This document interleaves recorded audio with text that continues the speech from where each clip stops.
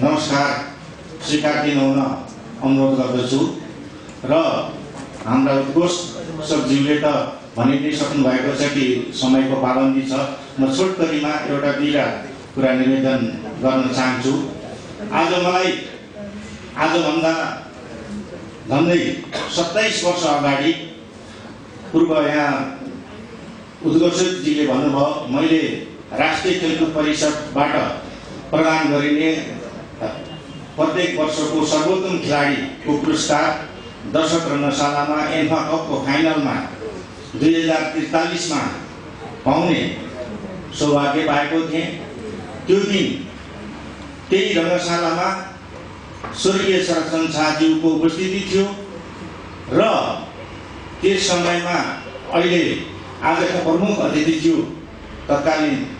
अखिल Nepal football सङ्घ अध्यक्षज्यू पनि उपस्थित हुनुहुन्थ्यो मञ्चमा। र दुवैको उपस्थितिमा मैले त्यो पुरस्कार पाएको थिएँ भने दुर्भाग्यवश स्वर्गीय शरदचन्द्र शाहज्यूको असमय निधन भयो। तापनि मैले एकजना जीवित आज त्यतिखेरका उपस्थित मध्येमा आजका प्रमुख अतिथि माननीय कमल थापाज्यूको हातबाट जुन पुरस्कार प्राप्त गर्ने सौभाग्य प्राप्त गरेँ आज मलाई आफ्नो सत्ताइस वर्ष अगाडिको दिन पुनः मैले चाहिँ अनुभव गरेको छु हृदयदेखि र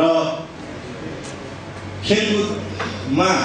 अखिल नेपाल फुटबल सङ्घले जुन खास गरी फुटबलको लागि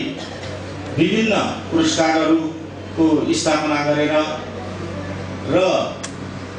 राष्ट्रिय खेलाडीहरूलाई पुरस्कार तथा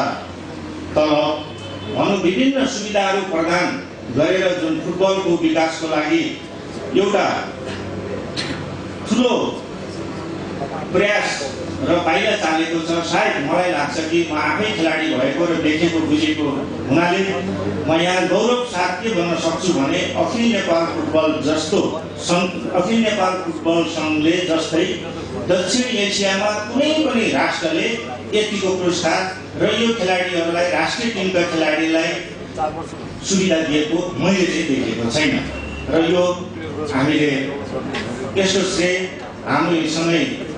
सहयात्री सँगै खेलेका अहिले वर्तमान अखिल नेपाल फुटबल सङ्घ अध्यक्ष गणेश थापाज्यूलाई म यो श्रेय दिन चाहन्छु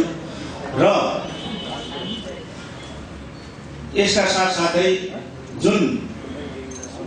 अहिले शरद शाह स्मृति पुरस्कारको स्थापना गरेर अखिल नेपाल फुटबल सङ्घले राजनीतिभन्दा माथि उठेर जुन एउटा थालनी गरेको छ पक्कै पनि यस पुरस्कारले विगत पछि हाम्रा पछिका अरूहरूले जुन पुरस्कार पाउनुहुनेछ त्यसबाट अझ यस खेलमा लाग्ने सबैमा एउटा नयाँ उत्साहको जगेरा नयाँ उत्साह सिर्जना हुनेछ र यसले नेपालको फुटबल खेलमा को विकासमा ठुलो टेवा पुग्नेछ भन्ने विश्वास लिएको छु र अन्तमा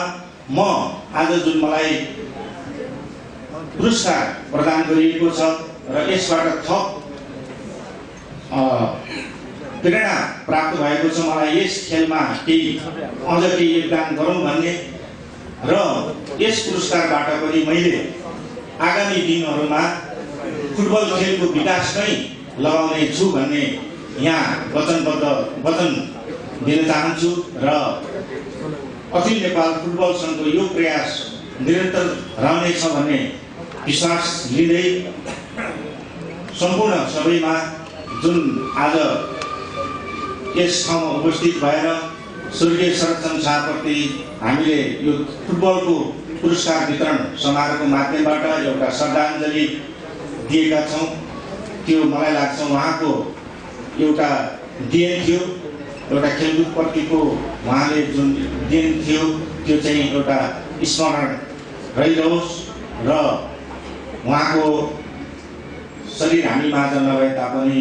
उहाँले गरेका देन दिएका देन गरेका योगदानहरू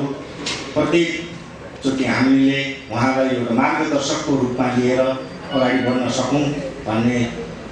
म सबैमा अनुरोध गर्दै मेरो यी शब्द अन्त गर्ने अनुमति चाहन्छु। धन्यवाद।